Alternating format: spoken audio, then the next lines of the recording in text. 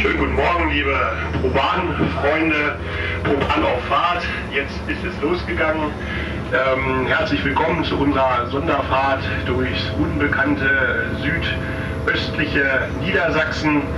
Ähm, ich hoffe, dass der ein oder andere etwas Neues entdecken kann heute, denn die verschiedenen Höhepunkte werden wir euch und Ihnen noch im Laufe der Fahrt auch einzelnen berichten. Ich darf dann gleich schon mal anfangen und darum bitten, den Blick nach links zu werfen. Links ist die Strecke, auf der wir jetzt eigentlich vor einer Viertelstunde gekommen wären, aber leider, auch das sieht man dort, ist die Brücke über die Leine ähm, nicht rechtzeitig fertig geworden zur, ähm, zum Fahrplanwechsel vor ein paar Wochen. Da vorne fehlte immer noch, ähm, weil diese Brücke doch zwar ähm, ja, verfallener war, als man das nach ersten Proben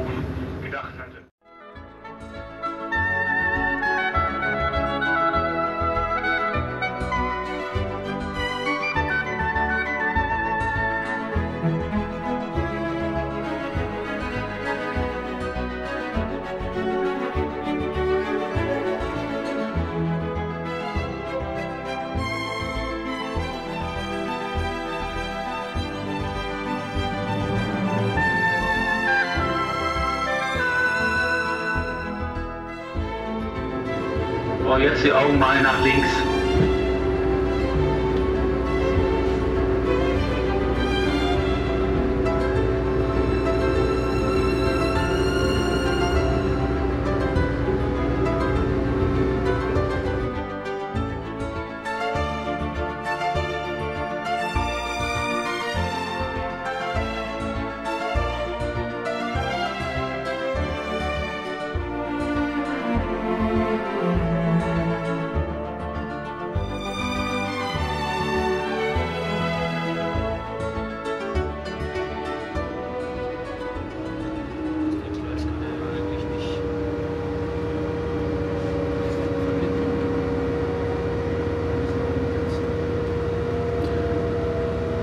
Kommen wir nicht mal rüber hier, ne?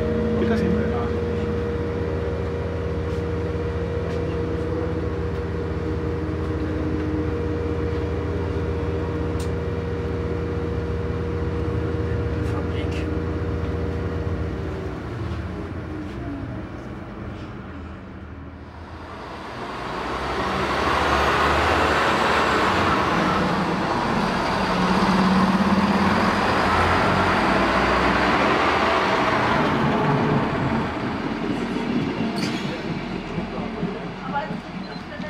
Ein Traumwetter für die Sonderfahrt, muss man sagen. Ja, wirklich, wir haben ein schönes Wetter. Das windig ist. Also Björn, hast du gut eingekauftes Wetter. Ja, selbst die, die Weiche habe ich anständig blockiert. Mein Gott. Ja, heutzutage ist es denn selbstverständlich. Ich sag oft,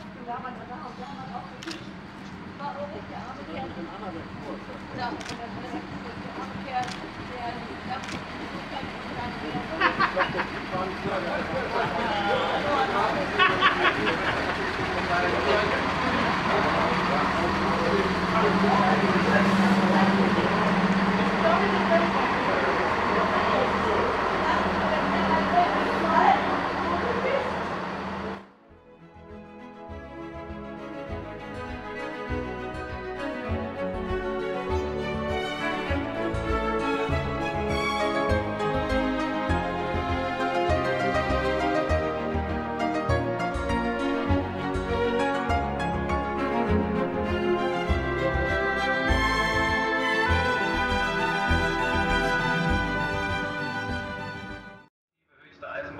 Südharz seit 20 Jahren.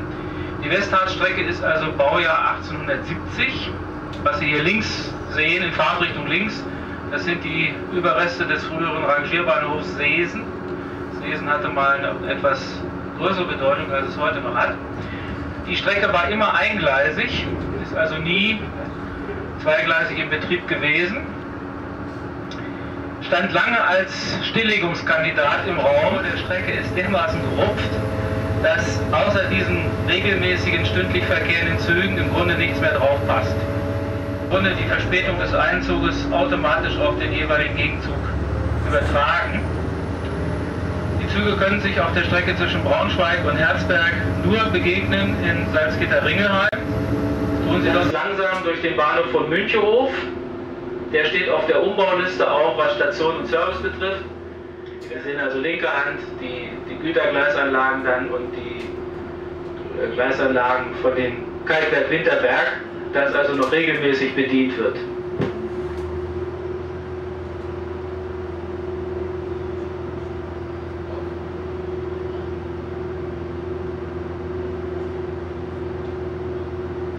Einen kurzen äh, Fotoaufnahme von gut zwei Minuten.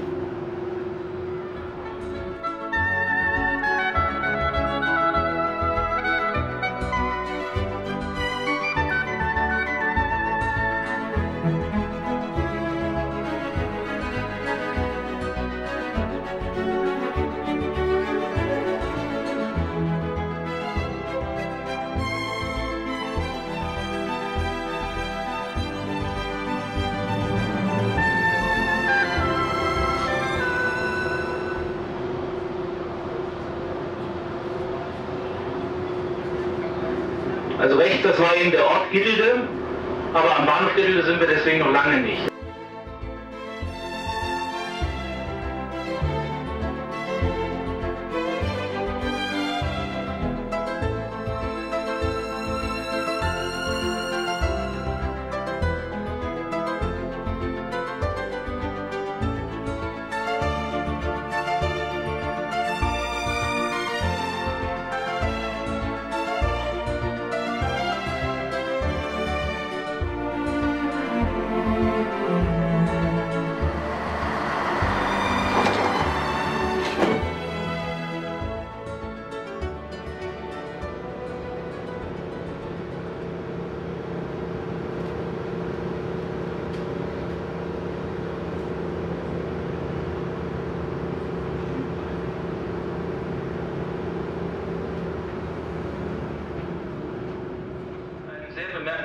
Klassizistisches Gebäude. Die sogenannte Schachtrupvilla, die sich ein Fabrikant dort hat erbauen lassen.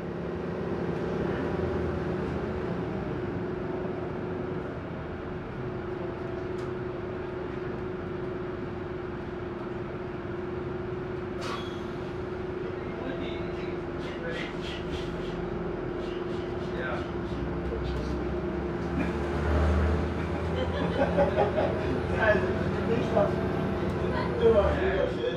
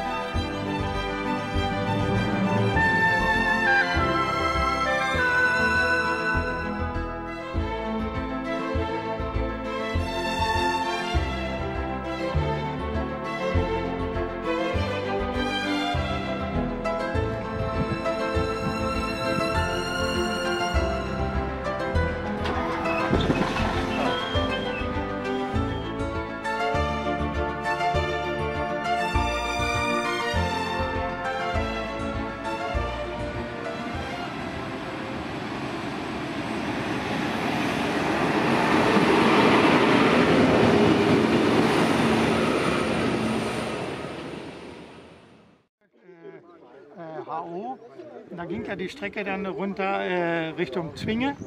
Und äh, wenn wir äh, ausgefahren sind, hier aus Gleis 2, da musste die Weiche immer als Schutzweiche runterlegen nach äh, Rumspringen. Aber die musste sofort wieder zurückgelegt werden, äh, weil ja, äh, wenn hier in den Gleisen rangiert wurde, wenn mal ein bisschen mehr gedrückt wurde oder was oder ein Wagen nicht angängbar. Und das ist ja tatsächlich passiert. Äh, Das ist in den 80er Jahren gewesen. Ich weiß jetzt nicht mehr genau das Jahr. Äh, Da hat er sie auch nicht zurückgelegt. Und äh, die Rangierer haben dann immer um. Ich war auch auf dem Stellwerk mal gefragt, wie viel können wir noch? Naja, und er hat gesagt, noch zwei Längen, noch zwei Längen, noch zwei Längen. Und dann haben die angehalten, aber es war ein Teil nicht zusammengehängt. Und dann sind die da runter marschiert. Und das ist richtig Gefälle darunter gewesen. Sind dann also bis Rumspringe. Und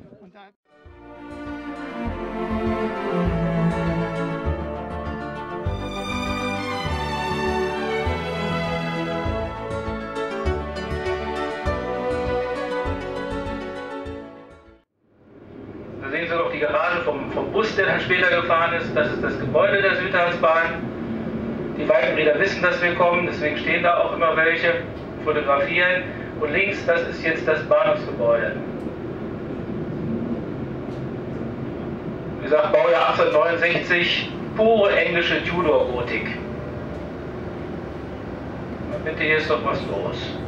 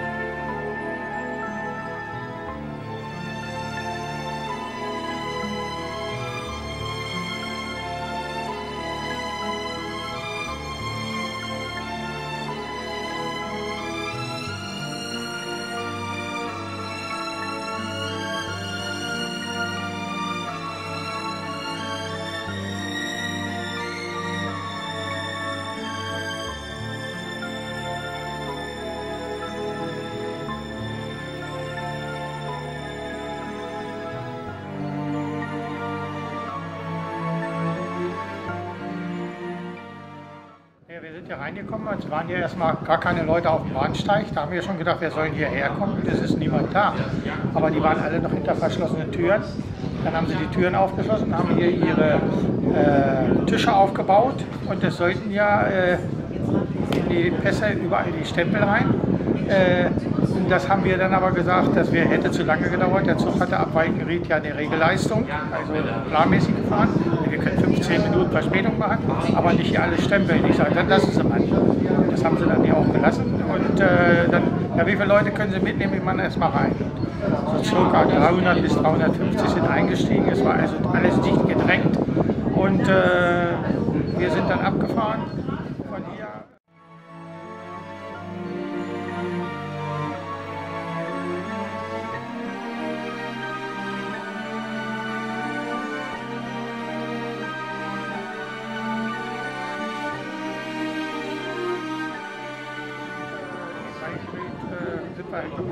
stand dann der Landrat, eine Kapelle und alles so. Und äh, die Blockführer haben sie in Storfblume bereicht und ich habe ein Buch gekriegt vom Landkreis. Da bin ich auf der anderen Seite vom Zug raus und da waren ein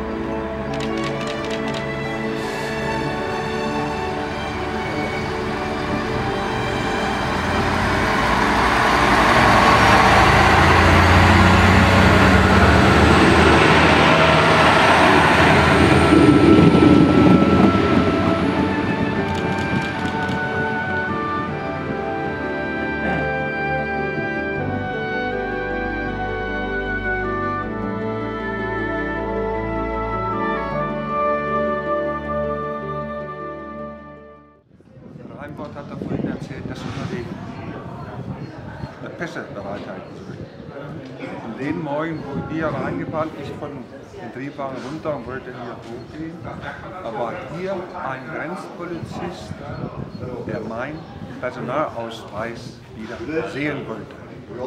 Da habe ich gesagt, das ist nun vorbei. Das war's.